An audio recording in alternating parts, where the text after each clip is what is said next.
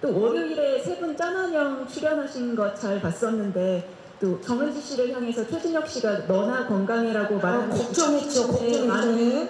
화제가 되고 있더라고요. 방송 이후에 좀 세 분이서 나누신 이야기가 있는지 또 그때 약간 술 취하셔서 말씀을 하신 것 같은데 그 너나 건강해라고 말한 것의 진실이라고 해야 될까요? 네, 에피소드 같이 말씀해 주시면 감사하겠습니다. 네, 기자님 고맙습니다.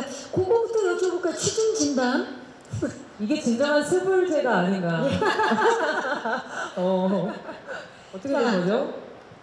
아, 이 자리에서 이런 얘기를 해도 될지 모르겠지만요. 이게 뭔가 되게 무거운 자리라서 사실 이런 얘기를 해도 될지 모르겠는데 그때 녹화장 분위기가 좋았는데 처음에 아무래도 제가 그때 녹화할 때도 말씀드렸지만 술을 마시면 조금 업되는 게 있어요. 그래서 이 분위기를 조금 더 업되게 하고 싶어서 한 두 시간 만에 한세병 정도 마신 것 같아요. 그래서 좀 많이 취했는데.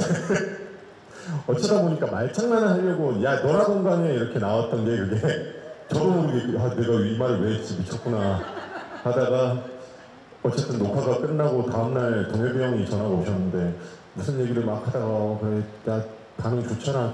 어, 고맙다. 뭐 이런 얘기를 하시다가 그래 은지랑 잘해보고 라고 하시더라고요. 그래서 아 진짜 그거 아니다. 그랬더니 뭘 아니야 아니게 그러시더라고요 그래서 진짜 오해하고 계신 것 같아서 예, 평소에 근데 제가 혼, 혼이 너무 많이 나가지고 이제 그런 말은 좀 자제하라고 하셔가지고 예, 정신을 똑바로 차리고 있습니다 지금. 네, 워낙에 또 찐친 케미를 보여주니까 주변에서 막 응원하는 분위기로 그렇게 분위기를 만드는 것 같아요.